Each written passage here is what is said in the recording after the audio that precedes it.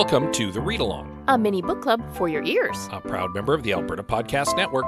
Locally grown, community supported. I'm your host, Scott, I'm your other host, Anita. and join us on a journey through a good book, One chapter at a time.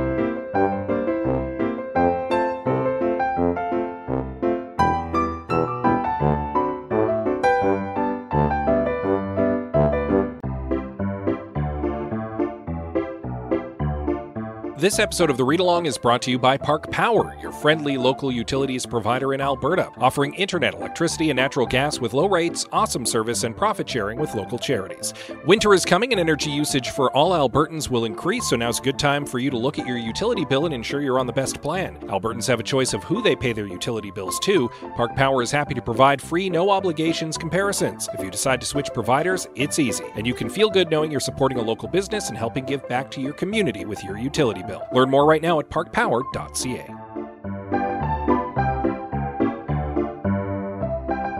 Had an unusually warm fall so far. Up until today, yes. Yeah, it's finally started to cool down a bit. Still just like regular fall temperatures. It's not unusually cold for this time of year. It's just normally cold for this time of Yeah, year. Yeah, it is appropriately cool for the weather as opposed to last week when I had to turn on the air conditioner again after we had assumed that we weren't going to anymore. Yeah. It got hot for a little while. Yeah, normally it's a little cool around my birthday, but uh, not this year. Also, Scott has now not so subtly dropped that it was his birthday. Yeah.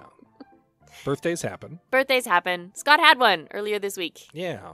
Was Uh, nice. Was able to have a few people over. Uh, the last couple years being what they have been, we missed a couple milestone birthdays, each of us, actually, It's true. and uh, didn't get to have the kind of blowouts that we might have liked. So it was nice to even just have a couple people over to have Visit. adult conversation with and visit with. Yeah. We grilled some steak. Some of us, not all of us, drank some scotch. We played some silly games and had fun conversations with our friends. It was a nice night. It was delightful. Yeah. Our kids So- ran around and played. It was cool. That has nothing to do whatsoever with the book. Not So- even a little bit. No. It's just a little bit of update on us. Well, I mean, we usually have a little bit of preamble.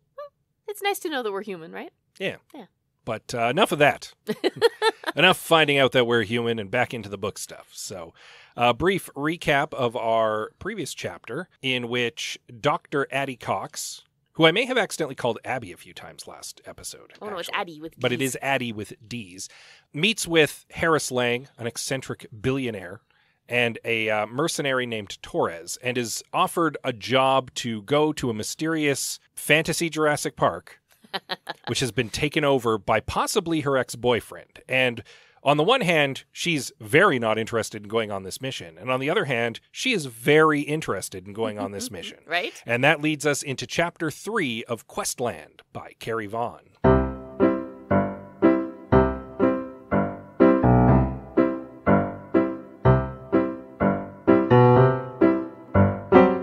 So, chapter three, where the shadows lie. Yeah, this book is clipping along uh, because we go from introducing our protagonist to getting a job offer to on the way to the job. Right? So we cut to a boat, middle of the night, and of course, violent, stormy, nausea-inducing seas. Yeah.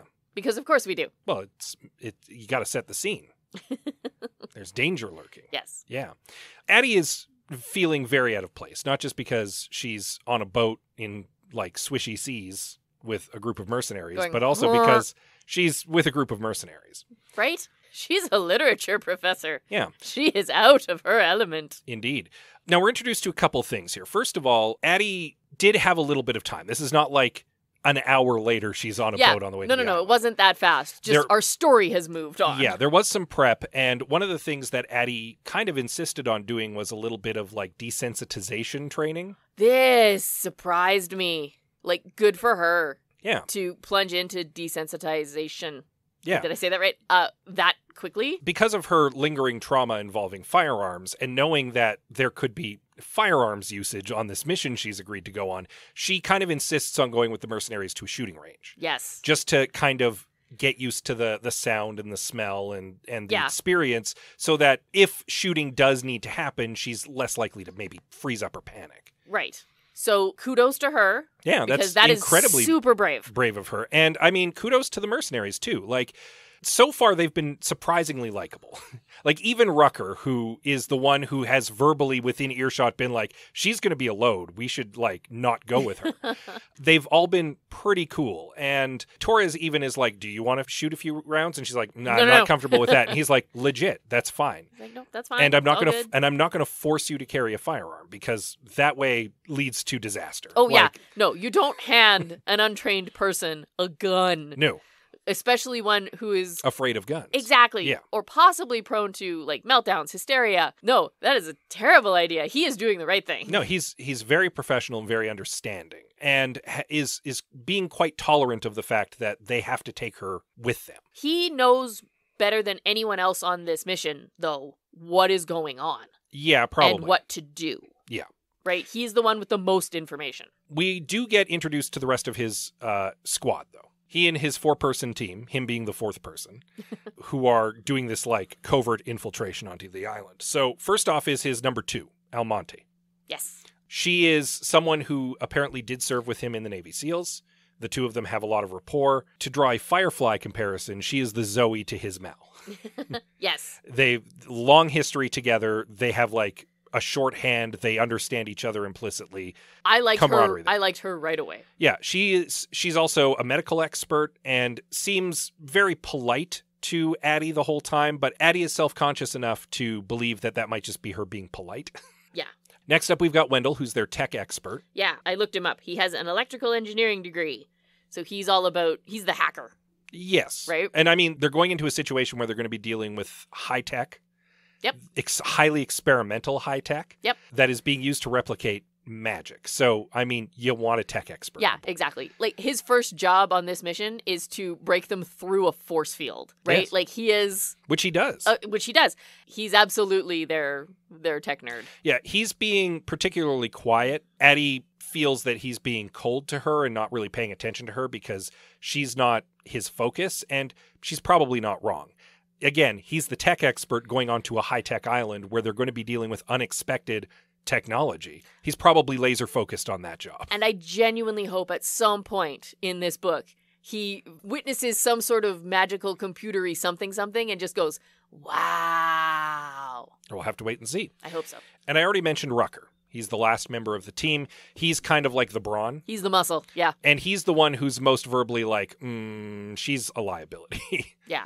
And I mean, he's not wrong. She admits he's not wrong, but it's still kind of rude to say. Yeah. And he and Torres kind of puts him in his place, like, well, she's coming, so deal with it. Yeah. I believe Torres's exact words were, uh, it's your job to follow orders. And he's not wrong. So stop asking questions and get back to work. now, Addie, being a huge nerd, immediately puts them into the context of their D and D party. It's a pleasure to meet you.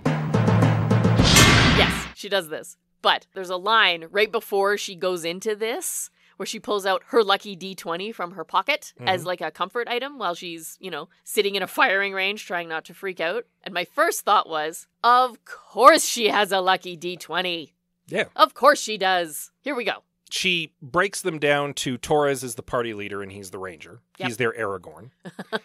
We've got Almonte, who is the cleric. Yep. She's there for moral support and for healing. Yeah. So she's, uh, Final Fantasy wise, she's the white mage. Wendell is their artificer. So he's the guy who knows the gadgets and the and the gizmos and stuff. Kind of like a rogue, not quite. Uh, honestly, I might have placed him as a wizard myself. Mm, he hasn't done any wizard stuff yet. He breaks them through a force field. Fair enough. And Rucker is the barbarian. Well, yeah, obviously. He's the heavy. And then that leaves her puzzling about what role in the party she fills, and she settles on, well, I guess I'm the bard.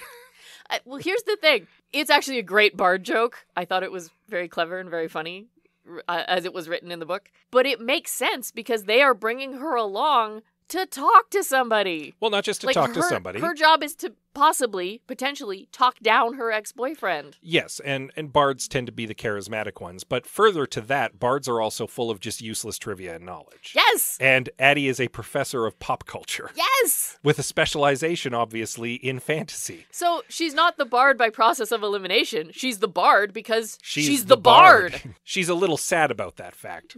Poor Ah. bards. No, bards are cool. Bards can be great. I don't play bards, but bards can be cool. They land on the island after having punched a little hole through the force field. They take a moment to hide the boat. Standard infiltration stuff. Yeah, you don't want do- anybody to notice that a boat's on the island because then people will know someone's on the island. They go they go like full on Navy SEAL and are like, okay, no evidence, and then they all get to work and they rush around and meanwhile Addie's trying not to throw up and learn to stand again. Yeah, and she does kind of want to take a break, but everybody else is ready to go, and she's like, "I guess we're going." Okay, you've been seasick before. Yeah. Have you not? Right? So when you finally get onto dry land and or things calm down and you have something solid to hold on to, it takes you a minute, right? So poor Addie, I I felt for her. But they do have a job to do. Yes, and they, I know. and they do need to get it done fast, ideally. So yeah, they they want to get a move on, and uh, that's more or less where the action ends. But there is a little more texture in this chapter. Yes. because nice. because we get a little bit more about the shooting that Addie is traumatized by, and apparently two of her best friends were killed. Well, her best friend and her boyfriend. Who arguably one of her best friends. Yes, I know, but you know what I'm saying. Her then boyfriend, because obviously she has since had another boyfriend in Dominic Brand. Yes. So while she's sitting in the shooting range trying to deal with what's going on around her, she kind of like turns inward, right? And try to tries to find that happy, comfortable place. Mhm. And she lands on Alex and Dora, her boyfriend and her best friend. And while she's finding comfort in their memories, because they were the ones shot right next to her. Yeah. Having to relive a trauma is horrible. And the fact that she has found some comfort in it, I think is good. She even thinks to herself at one point that if Dora were still alive and she had been like, I'm going on this secret mission to this fantasy, high tech fantasy island, Dora would be like, This is the coolest thing in the world. You can tell me all about Take this. pictures. And that also kind of brings a smile to her face. Yeah. Like it's it's a fond thought. Yeah, it's it's nice to know that there's comfort in their memory as opposed to uh, pain. Yeah. It's well it's Well, it's a mixed pain. memory. Yeah. Yeah, exactly. there's comfort there, there's pain there. It's it's a it's a stinging loss still to this day. Of course. We also get to learn through this actually very beautiful exposition, I think, a little bit more about Addie and what kind of nerd she is. A big one. Big one. So she talks about them like doing cosplay together and going to cons together and gaming together. And by the time she was done talking about all of that, I'm like, oh, oh, she's my kind of nerd. Yeah. Oh, and in my head, I quite honestly, I was going, oh, one of us, one of us. So what we have already established now, three chapters in, is that this is a nerd book for nerds, and I am here for it. I mean, it was it was pretty plain on the blurb on the back that it was a nerd book for nerds. Oh, but this is this isn't just a book for nerds. This is a nerd book for nerds, written by a nerd who understands nerds. I am into it. There you go. I am here for it. I am so excited for the rest of this book. That having been said, I mean, we've pretty much digested this chapter. Uh, the book has been clipping by so far. Yeah, The I- pace is fast. yes, that's true. The chapters are brisk without necessarily feeling truncated. Like, I don't Mhm. mean to say that they feel short, but they've they clip by. Yeah. Well, remember uh, last chapter I said I felt really rushed? Yeah. That that last chapter felt like pushy almost in Mhm. its rush. I didn't feel that in this chapter. Interesting. It clipped along nicely. It was explained beautifully. I didn't feel rushed or hurried or like anything was missing. So, like, it seems to be alternating chapters so far. Because the first chapter, doing fine. Second chapter, I'm like, oh, I'm being rushed. Tell me more things. Third chapter, she told me lots of things, and we still clipped along, and I was okay with it. Like, this one felt good. Yeah, and I suspect the pace might slow down a bit as we get into the next couple chapters, as they start to explore the island. Because my feeling is that the first couple chapters were just kind of quickly getting us to the island because Carrie Vaughn wants us to be on the island where stuff is going to happen. Yeah. So, like, the stuff that happened before is just the setup. Now we're on the island. Let's go. Is kind of my my feeling, but Yeah. I, I could be wrong. The next chapter could also be very brisk. I don't know. Oh, we'll see. It'll be good. Yeah. Um, we kind of brushed over this quickly earlier, uh, when she was talking about Wendell and how he sort of looked past her like she was a piece of equipment. Mhm. I kind of think that's something that Addie is also putting on herself Yeah, because she feels so out of place, right? Like this is not her element. No. This is not where she should be. This is not really where she wants to be. So her feeling out of place and then being treated not like a person, but like an, a piece of equipment didn't really help. Yeah, and well, I even mentioned before, like I think Wendell is being brusque with her simply because, like, she correctly identifies she's not his concern because he's the tech expert going into a mission with highly experimental technology. Yeah. And he's kind of laser focused on that. So Which he doesn't fine. have time to worry about her. No. And my feeling was you kind of almost want that with your tech expert going into an island full of highly experimental tech. I'd rather him be laser focused on that and not so worried about being a people person at the moment. That's fine. You can still treat someone like a person, right? Same thing with Rucker. He doesn't want her there. So But- he's not being particularly nice to her, even though it's part of his job to keep her alive. Well, and he will. It's not like he's going to dump her at the first opportunity.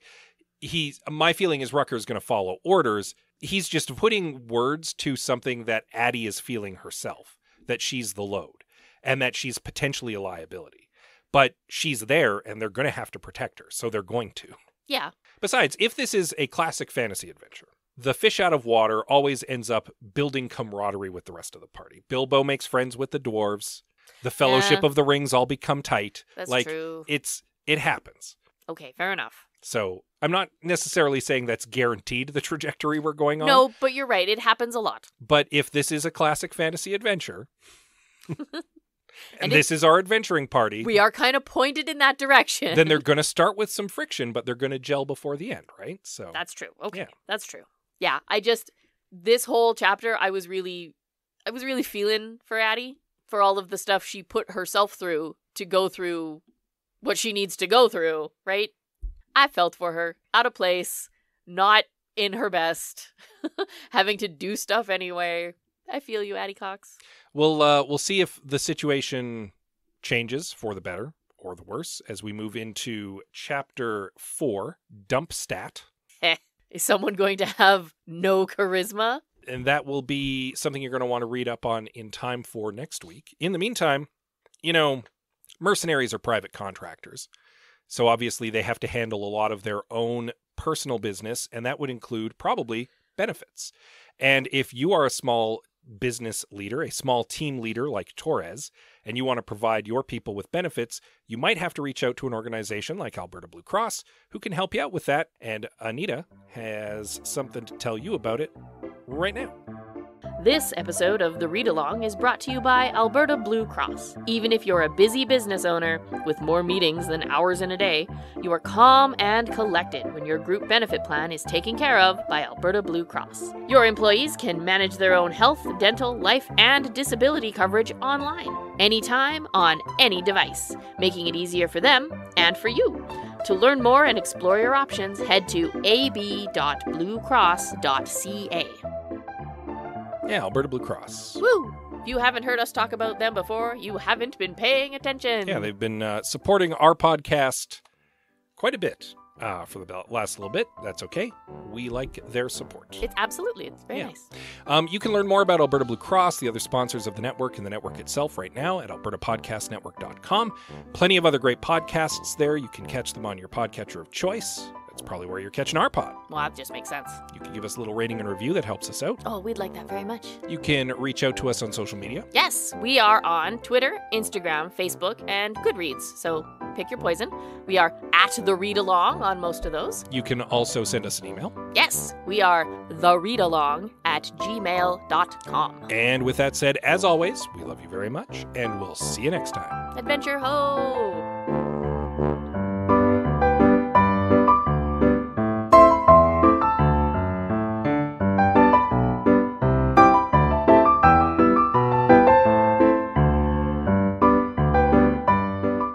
Thank you for joining us on The Read Along with your hosts, Anita and Scott Bourgeois. A proud member of the Alberta Podcast Network, all read along music is by Kevin MacLeod at Incompetech.com. Cover art is by Erin Beever. Be sure to join us on Twitter, Instagram, and Facebook at The Read Along, and check out our group on Goodreads.com.